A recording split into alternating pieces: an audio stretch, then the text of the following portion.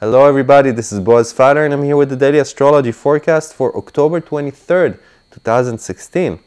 We have the moon in Leo, it's trining Venus in the morning time in Europe. Beautiful time to just squeeze the zest out of life.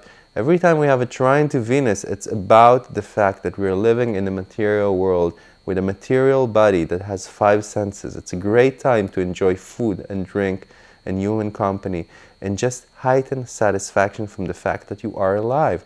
There's a sextile to Jupiter a little later on, which really helps us broaden our horizons to connect two dots into one linear conclusion and to understand that there's an abundance, a feeling of abundance in life, of benevolence and abundance. And isn't that great? And we'll go on until the noontime in Europe.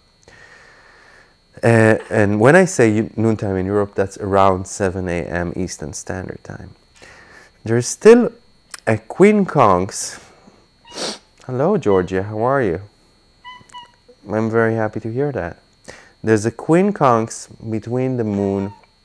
It's actually more than a quincunx. It's a, it's a yod configuration between the moon, Neptune, and Jupiter. It's an aspect that talks a lot about cleansing a lot about healing and about preparing us to deal with the things that are really important for us to do, the issues that are really important for us to deal with. It's about disregarding things that are not important enough in our lives anymore.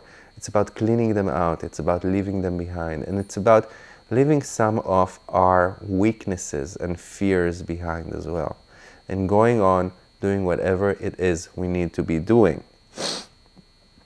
So that quincunx between the moon and Neptune in the sky today, while the moon is going to be opposing the ascendant, can create a syndrome in which I'm, on the one hand, looking to validate the fact that people need me by catering to them, by giving to them, by assisting them, especially loved ones in my life.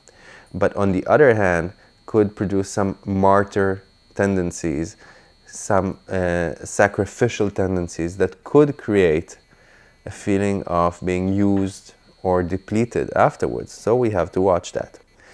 There is a trine to Saturn around 8 p.m. Central European Time. That's 3 p.m. Eastern Standard Time. That's a great time to take responsibilities on our shoulders, to be more focused, more adult about things, and to really carry on with a smile and a straight back with all our responsibilities. And a quincunx to Pluto saying, hey, you guys, don't be so self-absorbed. Let people affect your way and your goals and the way you do things because some of that information coming from the outside is important for you along the way. Do not uh, make this a solitary journey. Let the info from people around you flow in and change who you are and the way you walk.